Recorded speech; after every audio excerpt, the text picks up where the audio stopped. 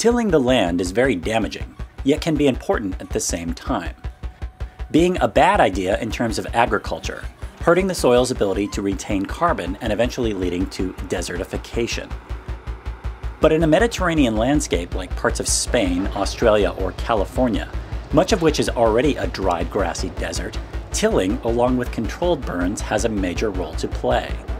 Fire has been with us for millions of years, and of course will be for millions more. But the changing climate will only amplify hot and dry conditions and thus wild blazes. Long ago, Native American tribes held controlled burns that cleared out underbrush and encouraged new plant growth.